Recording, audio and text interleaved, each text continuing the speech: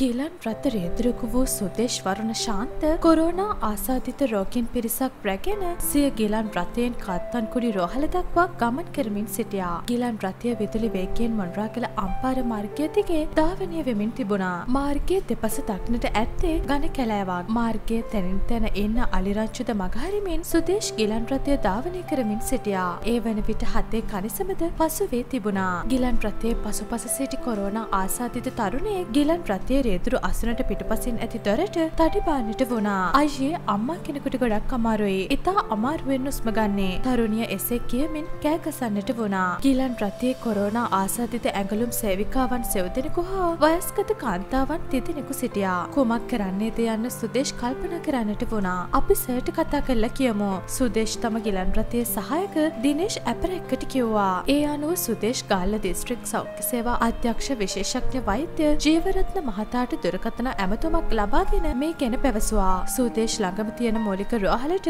රෝගියාව අරගෙන ගියා. කොරෝනා රෝගියෙකු කියලා රෝහලේ එන දොස්තර මහත්තයට කියන්න. සෞඛ්‍ය අධ්‍යක්ෂකවරයාගෙන් උපදෙස් ලැබිලා තිබුණේ හිමයි. ඒ වන විට මෝලික රෝහලකට යාම සඳහා තවත් කිලෝමීටර් 70ක් පමණ ගමන් කළ යුතුව තිබුණා. සූදේශ් පවනට බඳු වේගයෙන් ගිලන් රථය ධාවනය කරන්නට වුණා. කොරෝනා ආසාදිත මව ඉතා අපහසුවෙන් ඔස්ම ගනිමින් ජීවිතයත් මරණයත් අතර සටනක නිරත වෙමින් සිටියා. සුදේශ් විශේෂ ගිලන් රථය මාර්ගය පසකට වන්නට නතරකොට මීටරයක පරිතරය තබා ගනිමින් ගිලන් රථය දොර ව්‍යවෘතකට ආසාධිත මවට කතා කළා. අනේ පුතේ මට ටිකක් හාන්සි වෙන්න ඕනේ. මව එහෙම කිව්වා. ගිලන් රථයේ සිටි අනිකුත් රෝගීන් දෙපසට කළ සුදේශ් මවට හාන්සිවීම සඳහා ඉඩකඩ ලබා දීමට කටයුතු කළා. විනාඩි 10ක් පමණ ගත වුණාට පස්සේ දැන් කොහොමද අම්මේ කියලා සුදේශ් මවගෙන් විමසන්නට වුණා. පුතේ දැන් නම් හුස්ම ගන්න පහසුයි. ටිකක් හොඳයි. මව හීන්ස්වරෙන් කිව්වා. අඩ හෝරාවකට පස්සේ පසු සුදේශ් ගෙලන් රථය පනගන්වාගෙන කාන්තන් කුඩි රෝහල දක්වා කොරෝනා රෝගයෙන් නිරුපද්‍රිතව රැගෙන යනු ලැබුවා. පුතා හෙන්ද තමයි මගේ පණබේරුණේ. මව සුදේෂ්ට දැත් එක්කොට ආචාර කළා.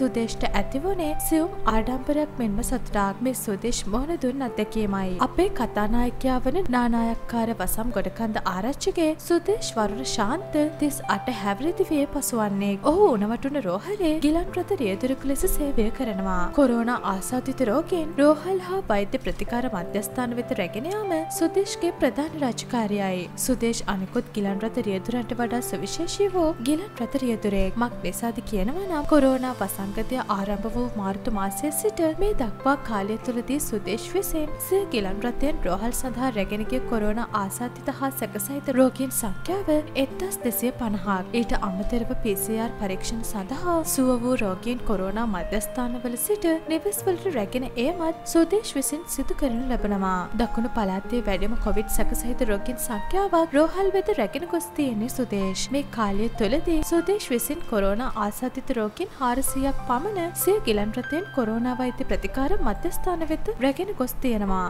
මීපාවල පොත්වල පදිංචි සුදේශ් තම රාජකාරිය දේවකාරයක් ලෙස සැලකූ ගිලන් රථ රියදුරෙක්. ඔහු මීපාවල අමරසූරිය මහා විද්‍යාලයේ ආදි ශිෂ්‍යයෙක්. එක් දරු පියෙකු වන සුදේශ්ගේ බිරිඳ රුවනි සොනෙත්‍රා කරාපිටිය රෝහල් රෝහලේ හතර කාමරයේ රෝහල් සේවිකාවක ලෙස සේවය කරනවා. මව ඒ සඳලතා කරාපිටිය රෝහලේ සුළු සේවා පාලිකවරියකි. පියා විශ්‍රාම ගොස් ඇති අතර ඔහුද ගිලන් රථ සහයකවරයෙකු ලෙස ක්‍රියා කළ අයෙක්. මේ අනුව බලන විට සුදේශ්ගේ මුළු පවුලම සුව විරු පවුලක්. සුදේශ් දෙදස් දාහතර වර්ෂයේදී ගිලන් රථ රියදුරුකු ලෙස රැකියාවට එක් වෙලා තියෙනවා. කොරෝනා වසංගතය ආරම්භ වුණේ මාර්තු මාසයේදී. කොරෝනා ආසාධිත රෝගයෙන් රැගෙන යන්න ගිලන් රථ රියදුරන් කැමති වුණේ නැහැ. ගොඩක් අය එකට බය වුණා. වුණා. ඒ සඳහා ඉදිරිපත් වනෙත් නැහැ. අපේ සෞඛ්‍ය සේවා අධ්‍යක්ෂ ජීවරත්න සර් මට කිව්වා කොල්ලෝ මේ වැඩේ කරන්න බාරගන්න කියලා. මුලදී මටත් බියක් ඇති වුණා. නමුත් සර්ගේ කේම අනුව මම වැඩේ බාරගත්තා. මට ආරක්ෂිත ඇඳුම් කට්ටල හිමි වුණා. වෙනත් රෝහලකින් අලුත් ගිලන් රථයක් ගෙනවෙත් දීමට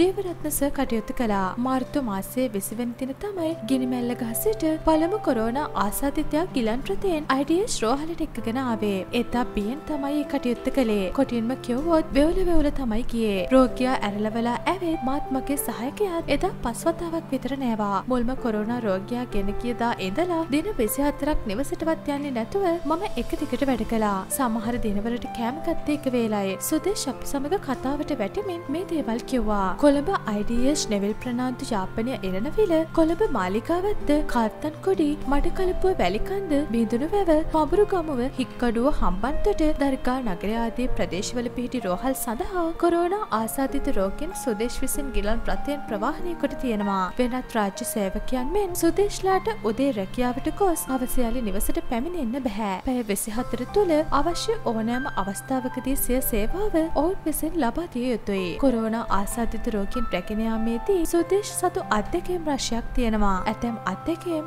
ඉතා සංවේදී ඒවා. බිය හා ත්‍රාසයමුසු අධ්‍යකම්ද ඒ අතර තියෙනවා. එතා හම්පන්තට ගිහින්නවෙත් ගොඩක් මහන්සේම් තමයි හිටියේ. එතකොට රාත්‍රී එකොළහට විතර ඇති. සර්ගෙන් දුරකතර ඇමතුමක්කාවා. කොල්ලෝ මේ වැඩේ ඔබට විතරයි කරන්න පුළුවන්. බැහැ නොකයා වැඩේ කරන්න ඕනි කියලා කිව්වා. මම ඇහුවා මොකද සර් කියලා. ගාල්ල නගරේ පොත්ගලික රෝහලකට පැමිණි මවකට හා දරුවෙකුට කොරෝනා වෛරසය ආසාධනය වෙලා බබාට හොස්ම ගන්න අමාරුයි. අපිට පෑ භාගයක විතර කාලයක් තමයි තියෙන්නේ දරුවාව නෙවිල් ප්‍රාන්තු රෝහලට ගෙනියන්න. පෑ භාගයක් ඇතුළත මේක කෙරෙන්න ඕනේ. කරාපිටිය රෝහලේවත් ඒ බබා දමන්න ඇදක් තිබුණේ නැහැ. පස්සේ මම ආරක්ෂිත ඇඳුම් ඇඳගෙන විනාඩි කිහිපයක් ඇතුළතේ බබාව සහ මවව ගිලන් රථයට නංවාගෙන විනාඩි 37කින් කොළඹ නිවල් ෆර්නාන්ඩු රෝහලට එක්කගෙන ගියා. ඒ බබා මුස්ලිම් දරුවෙක්. දරුවාගේ අම්මටත් මම කිව්වා අම්මේ බය වෙන්න එපා කියලා. කොහොම හරි දරුවාගේ ජීවිතය බේරා ගැනීමට හැකි වුණා. අදටත් ඒ දරුවාගේ තාත්තා මට උදේට කතා කරලා ඒ සේතිය සිහිපත් කරලා ස්තුති කරනවා. Taman මුහුණ දුන් ත්‍රස්තජනක අත්දැකීමක් විස්තර කරමින් ඔහු එසේ කිව්වා. සුදේශ්ලා වැනි ගිලන් රථ රියදුරන් කරනු ලබන්නේ ඉතා බාර දුර කාර්යයක්. දුර බැහැර ප්‍රදේශවලට කොරෝනා රෝගයෙන් රැගෙන යන අවස්ථාවලදී ඔවුන් රාත්‍රිය ගත කරන්නේ ගිලන් රථය තුලයි. හරියට කෑමක් නැහැ. ඒ වගේම නින්දකුත් නැහැ. එවැනි ගමනකදී වියහියදම් සඳහා ලැබෙන්නේ රුපියල් 700ක මුදලක් විතරයි. ඒ මුදල නම් කිසිසේත්ම ප්‍රමාණවත් වෙන්නේ නැහැ. සුදේශ් මෙන්ම ඔහුගේ සහයක දිනේශ් ඇපරැක්කද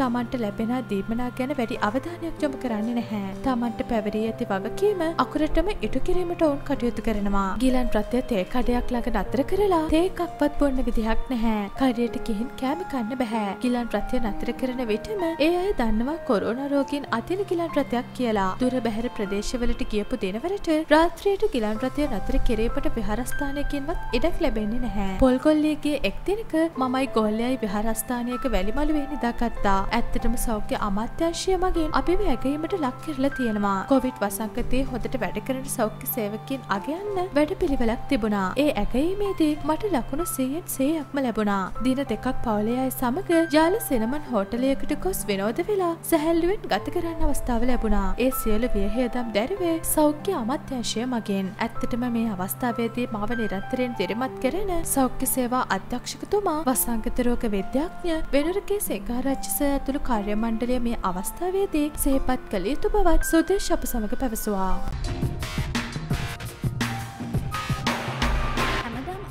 වීඩියස් බලන්න කැමතිනම් පහල තියෙන රතුපාට බට්නක බල අපිට සබස්ක්‍රයිබ් කරන්න.